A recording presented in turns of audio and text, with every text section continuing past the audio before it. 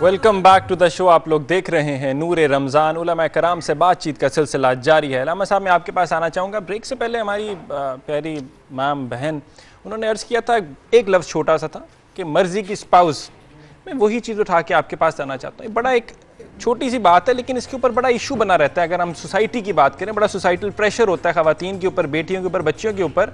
वो चाहती भी हैं कि कोई पसंद है उनको नौजवान और उससे निकाह भी करना चाहें तो कहते हैं नहीं अलाउड नहीं है हमारी गैरत नहीं है हम तुम्हें जला देंगे ये कर देंगे। हम्म। बहुत सी बातें होती हैं। इस्लाम की रोशनी के अंदर कुरान हदीस की रोशनी में क्या कहना चाहेंगे आप इस बारे में?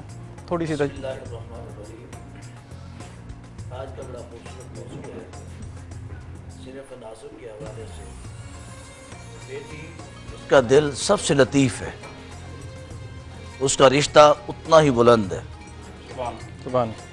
कि वो बेटी इस्लाम से कबल जिसको ज़िंदा दरगोर कर दिया जाता विरासत तो दूर की बात है मोहब्बत से भी महरूम कर दिया जाता। विरासत और जायदाद तो दूर की बात है शफकत और मोहब्बत से उसको महरूम किया जाता था। वो भाई की मोहब्बत महसूस नहीं कर सकती थी, बाप की मोहब्बत नहीं ले सकती थी, माँ की ममता को नहीं भाप सकती थी। ना ममता के अंदर उसका एहसास मोहब्बत पैदा होता। इस्लाम के बाद क्या एजाज़ हासिल होता है? कि जब रसूलुल्लाह वसल्लम के यहाँ पहली बेटी पैदा होती है तो सरकार दो आलम वसल्लम आप तशीफ़ फरमा होते हैं, अपनी शिस्त पर हज़रत उम अमन तशीफ़ लाती हैं। अर्ज़ करते हैं, या रसूल वसल्लम, अल्लाह ने आपको बेटी से नवाजा है। तो कायनात के वाली मुख्तार नबी, मेरे और आपके मेहरबान नबी सल्लल्लाहु अलैहि वसल्लम, आप रहमत रहमत कायनात हैं। आप जैसे तशीफ़ फरमा थे बापियादा बग़ैर नालैन पहने, वो नालैन जिसको चूमने के लिए अरश अजीम तरसता है। आपने नालैन नहीं पहनी है, नंगे पाँव चल के गए, तेज़ी से गए। हज़रत उम्मीन फरमाती, मैं घबरा गई, डर गई। कि ज़माना जहलीत का जो दौर देख चुकी थी कि अब जाएँगे बेटी को उठाएँगे बीवी के सीने पर लिटाएँगे और ज़बा फरमा देंगे। लेकिन रसूल कायनात वसल्लम जब तशरीफ़ ले गए तो कायनात का नक्शा बदल गया। इसको मोहब्बत बाप और बेटी के दरमियान जो रिश्ता था उसमें ऐसी मिसाल कायम हो गई कि क़यामत तक ऐसी मिसालें नहीं बन सकती है। क्योंकि रसूल तो मासूम है सैयद कायनात है। हाँ। तो जो अल्लाह की बात हो रही मेरे करीम आका सल्लल्लाहु अलैहि वसल्लम ने अपनी शहजादी को उठाया सीने से लगाया। हज़रत उम ऐमन से फरमाया उम ऐमन, मक्का की गलियों में ऐलान कर दो, आज मोहम्मद बेटी का बाप हो गया है। सातवें दिन मेरे घर आना, मुबारकबाद भी देना, खाना भी खाते हुए जाना।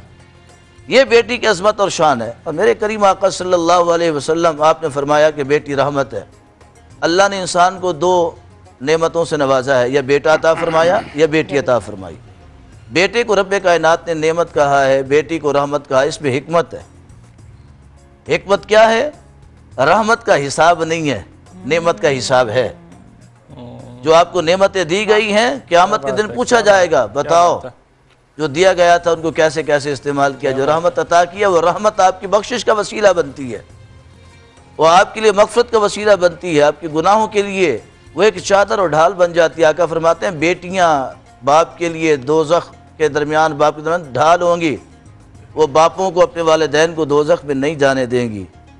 सवाल किया गया यारसम जिनकी बच्चियाँ छोटी होती हैं वो फौत हो जाती हैं जब जैसे बच्चे माँ के पेट में फौत हो गए या पैदाइश के फ़ौर बाद फौत हो गए तो उनके मतलब क्या फरमाने मेरे करीम फरमाते हैं एक बाप क़्यामत के दिन उठाया जाएगा अल्लाह हुक्म देगा इसे जहन्नम में ले जाओ। वो मासूम बच्ची जो छोटी थी माँ के पेट में फौत हुई या पैदा होने के बाद फौत हो गई उसको भी उठाया जाएगा अल्लाह की बारगाह में वो पेश होगी अपने बाप की उंगली को पकड़ लेगी मासूम हाथों से। उंगली को पकड़ कर अल्लाह की बारगाह में ले जाएगी। अर्ज़ करेगी या अल्लाह दुनिया के अंदर तो बाप की शफकत और मोहब्बत से महरूम रही क्या आज भी मैं इससे महरूम रहूँगी? या अल्लाह या तो मुझे अपने बाप के साथ भेज दे या बाप को मेरे साथ भेज दे? तो रब कायनात उस छोटी बच्ची की सिफारिश पर उसके बाप के गुनाह माफ़ फरमाएगा उसे जन्नत में दाखिल फरमा देगा। क्या बात है। और बेटियाँ ऐसी रहमत होती हैं कि जब बेटा पैदा होता है रब तारा खुद फरमाता है जा अपने बाप का बाजू बन जा। लेकिन जब बेटी पैदा होती है अल्लाह की अर्श पर भी खुशियाँ मनाई जाती हैं।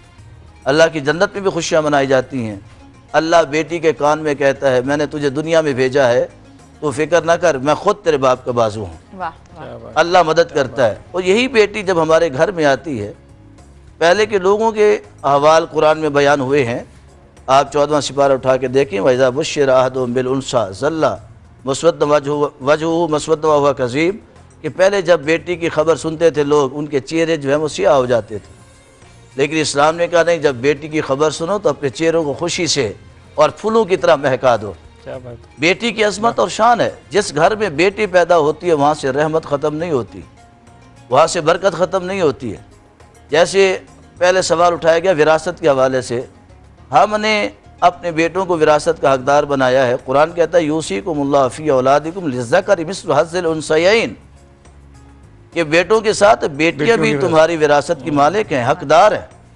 और जो ज़बरदस्ती बेटियों से लिखवा लेते हैं लिख के दो कि तुम इस विरासत के हकदार नहीं हो भाइयों को नहीं दोगी वो खुद वो गुनाहगार और उसके रसूल के खिलाफ बगावत बगावत करते हैं। तिल का हदूदुल्ला वमैत हदूदल्लामून वो जालिम लोग हैं जो अल्लाह की हदूद से तजावज़ करते हैं। और जहाँ बात की है मर्ज़ी के हवाले से इस्लाम ने इख्तियार दिया है। औलाद बेटा हो या बेटी हो बालिग हो जाए साहिब इख्तियार हैं। आप उनसे पूछें उनकी मर्ज़ी। अगर उनका कहीं ख्याल है और वो सामने वाला बर शरा इस्लाम आपके रूल्स के मुताबिक है तो आप उनकी मर्ज़ी के मुताबिक शादी कर दें। कुर्बानी जानवरों की होती है इंसानों इंसानों की नहीं होती है। क्या खूबसूरत। और मज़ा आ रहा है बेटियों के हकूक बेटियाँ की बेटियाँ कितनी खूबसूरत होती हैं किन किन हकूक उनको देने चाहिए। हम लोग आज सब डिस्कस कर रहे हैं आप लोग भी हमारे साथ रहिएगा। छोटी सी ब्रेक के बाद वापस आते हैं आप देख रहे हैं नूर रमज़ान। अल्लाह तेरा है एहसान, रोज नमाजें और कुरान है ये सब रूहे ईमान, नूरे रमज़ान।